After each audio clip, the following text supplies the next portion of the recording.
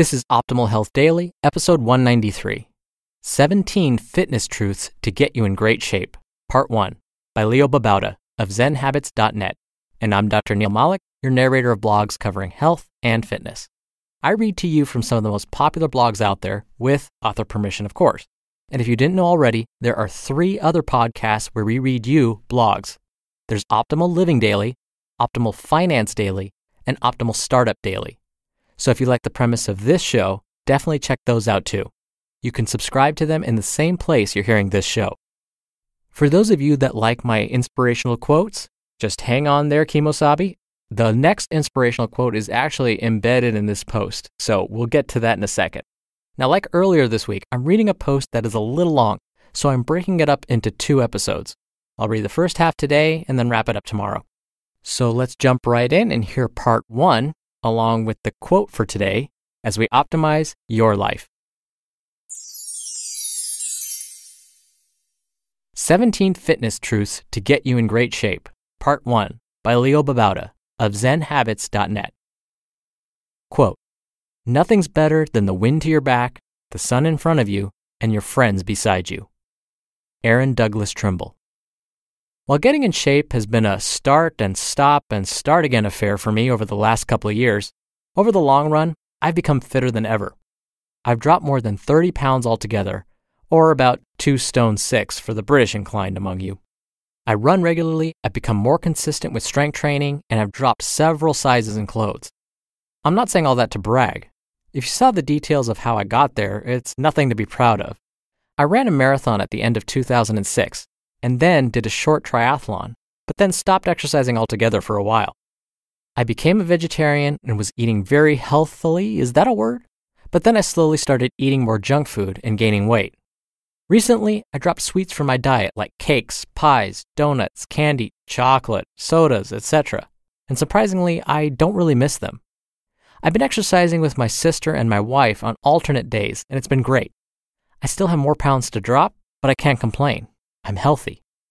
The ups and downs of my fitness efforts have highlighted some important points for me.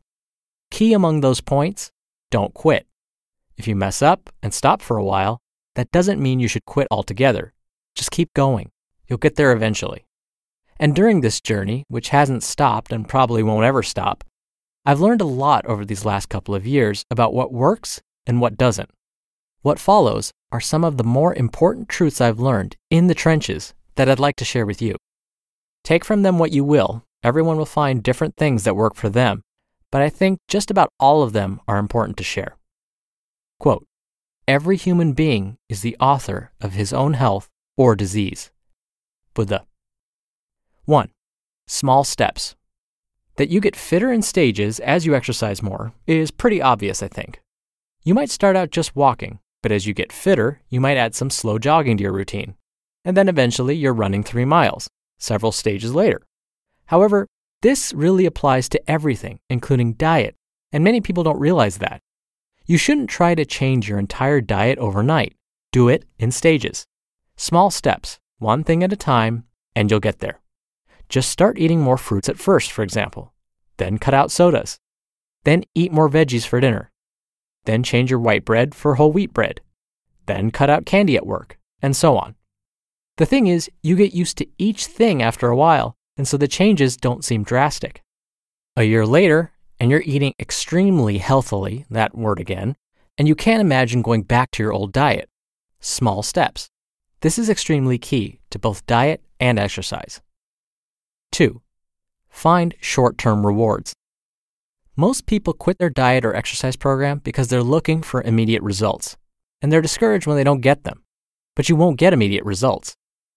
One fitness trainer said something like, After a month, you'll start feeling some results. After two months, you'll start noticing results. After three months, others will start noticing. And that's pretty true. It takes months before you start to see the results you want. But in the meantime, you have to look for other things to keep you going.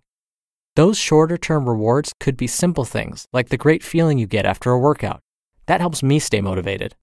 Or you could give yourself a treat something healthy preferably, or buy a book or something like that. 3. Track your progress. The scale is probably the most popular way to see your progress, but other ways include measuring your waist or taking photos of yourself each month. You could also track your performance. For example, do a 5K every month to see if you're getting faster, or log your miles to see them increase. However, you do it, you should have some kind of objective way to see your progress over the weeks and months.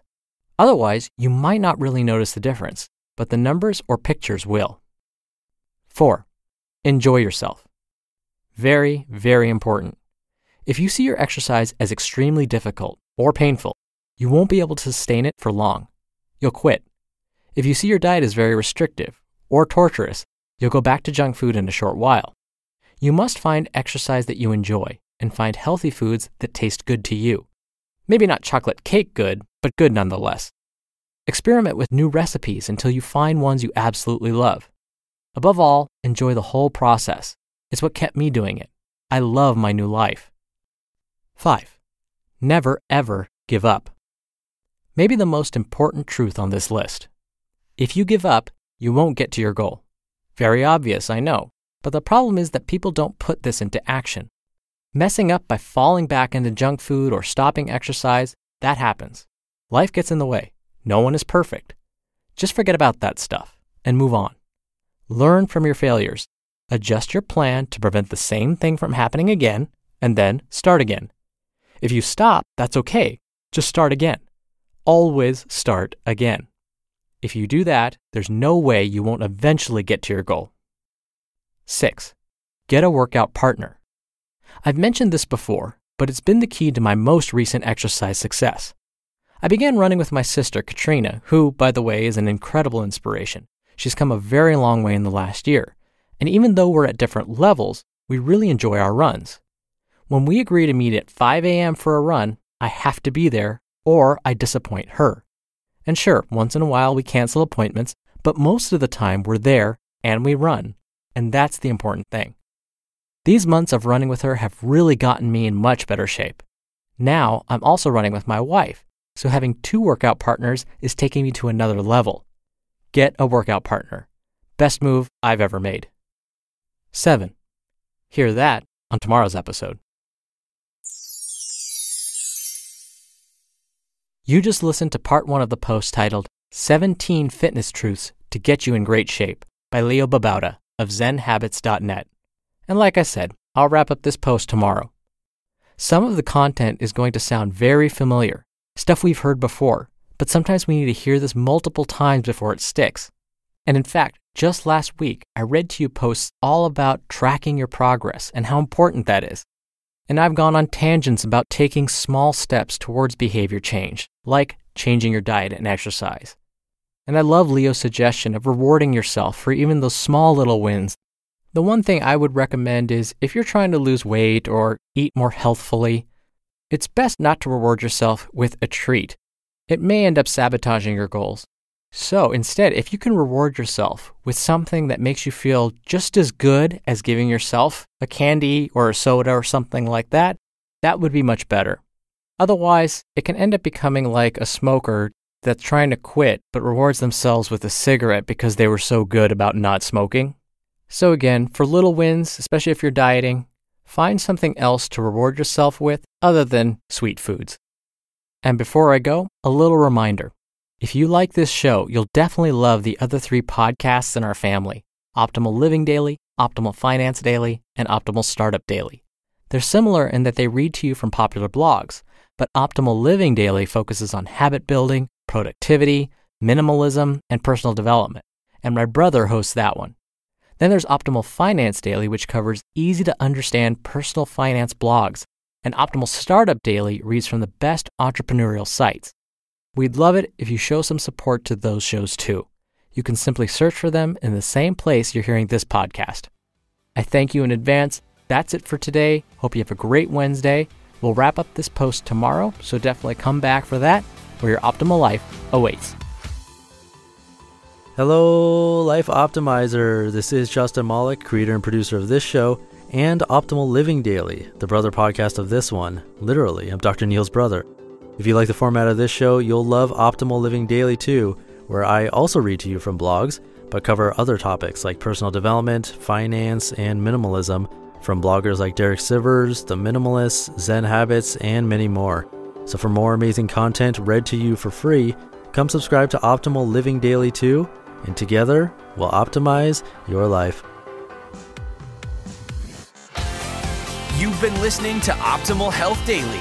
Be sure to hit the subscribe button to stay up to date on each new episode and head to oldpodcast.com. That's oldpodcast.com for a free gift, as well as more actionable tips and resources to help you maximize your potential. Thanks for joining us, and remember, your optimal life awaits.